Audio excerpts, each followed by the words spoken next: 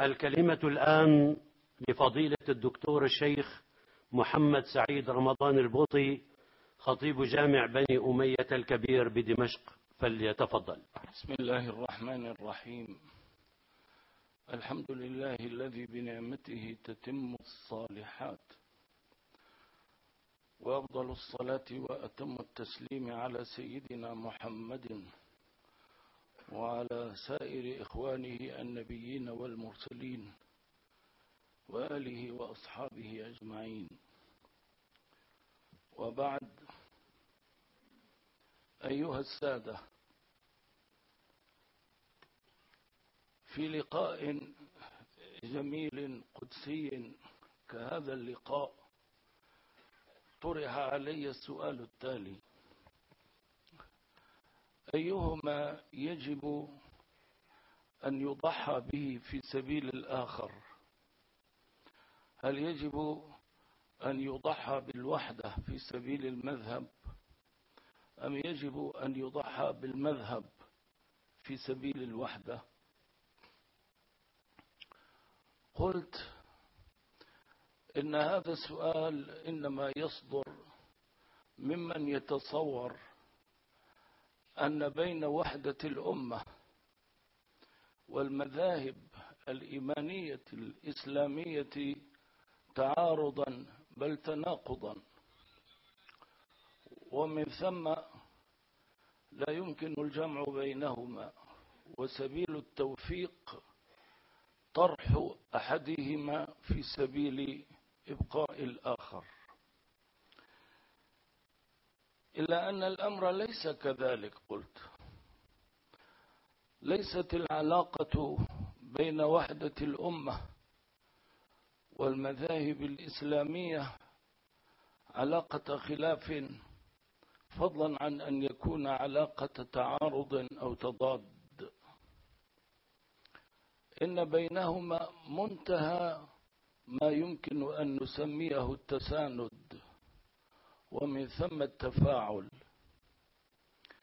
ذلك لأن الغاية من وحدة الأمة هي ذاتها الغاية المثلى من المذاهب الإسلامية والإيمانية.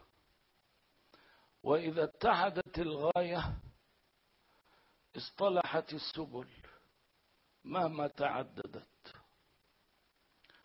أرأيت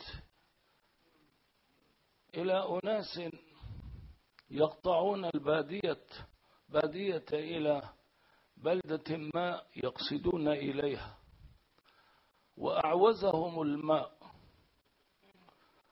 وتفرقت بهم السبل في مظان الماء الذي يبحثون عنه.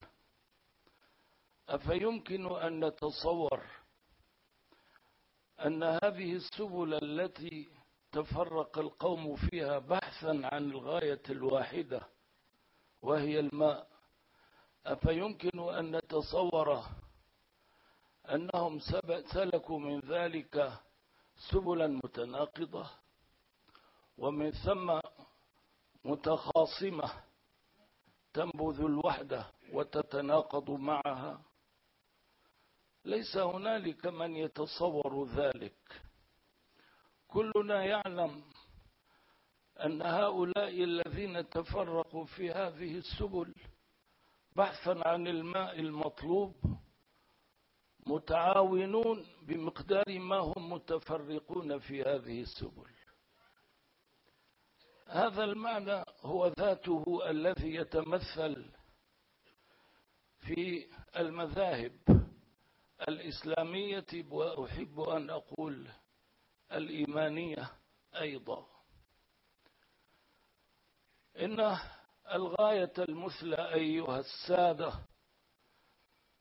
من الوحدة بلوغ مرضاة الله وإن الغاية المثلى من المذاهب المختلفة المتنوعة أيضا ينبغي أن تكون بلوغ مرضاة الله سبحانه وتعالى. إن الماء الذي يروي غلتنا جميعا إنما يتمثل في رضا الله سبحانه وتعالى. وإنما يتحقق رضا الله بالانقياد لهذا الذي سمعناه قبل قليل. واعتصموا بحبل الله جميعا ولا تفرقوا. فلئن تفرقنا في السبل المتعددة بحثا عن الماء الذي يروي غلتنا وما الماء إلا هذا الذي ذكرته لكم. ما الماء إلا هذه الغاية القدسية التي تجمعنا جميعا ونرحل بها إلى الله. سبحانه وتعالى إنه بلوغ مرضاة الله عز وجل. ومن ثم فليس بين الوحدة والمذاهب الإسلامية مشكلة تقتضي غض النظر عن أي من الجانبين في سبيل الآخر بل بينهما منتهى التكامل. لكني كما تلاحظون أيها السادة إنما أركز على وحدة الغاية. فلنتلمس بين جوانحنا وحدة الغاية هذه. نحن راحلون ونحن نقطع هذه المفازة. نقطع مفازة هذه الدنيا هذه البيداء. إلى لقاء آت قريب مع الله عز وجل. فإذا كانت غايتنا في مساعينا كلها بلوغ رضا الله عز وجل فأحبب بالمذاهب الإسلامية ما كثرت وإن هذه المذاهب لا بد أن تتوج بتاج الوحدة الإسلامية والإيمانية.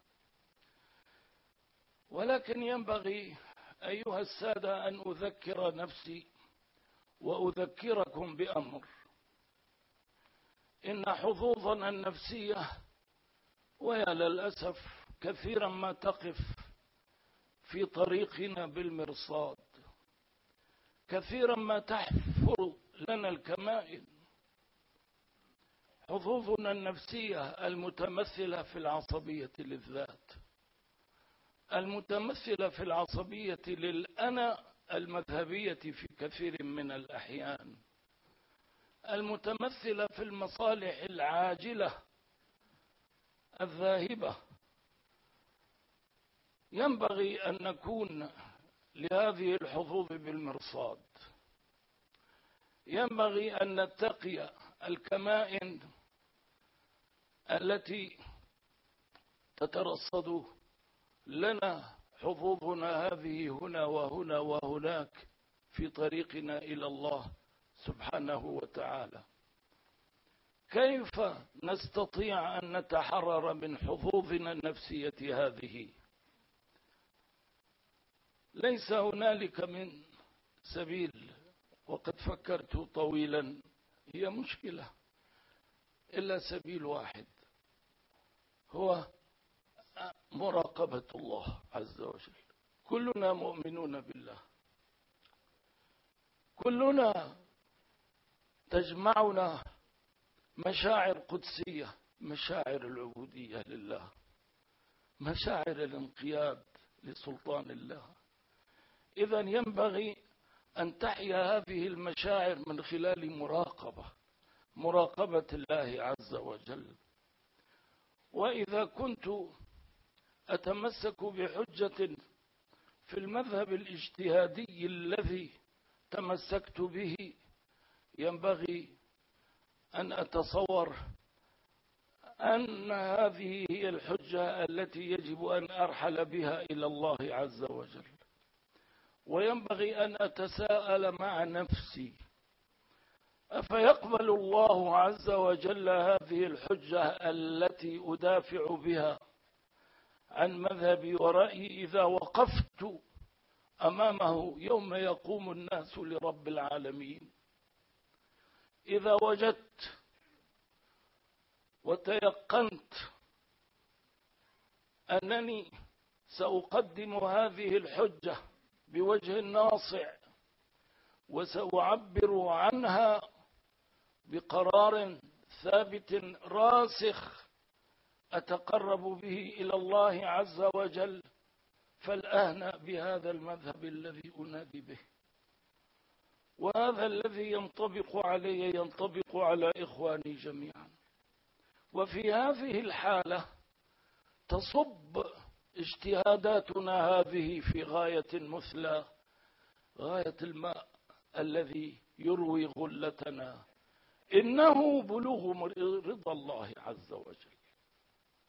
أعتقد أيها الإخوة أن هذا المعنى إذا تمثلناه أكرمنا الله عز وجل بتوفيق كبير وسدت الثغرات التي أشير إليها الآن التي أشار إليها سماحة العلامة الجليل الذي كنت ولا أزال أوده, أوده وأحبه العلامة التسخيري. بل أيها الإخوة ما ينبغي أن يكون للحقد مكان في قلوبنا. ما ينبغي للضغينة أن يكون حاجبا بيني وبين أخ في الإنسانية يرفع فوق رأسه لواء العبودية لله يرفع فوق رأسه لواء الحب لله عز وجل. حسب هذا الحب جامعا. وحسبه روحا تحقق في حياتنا هذه الوحدة. لا أريد أن أطيل أكثر مما أطلت وأشكركم على الإصغاء والسلام عليكم.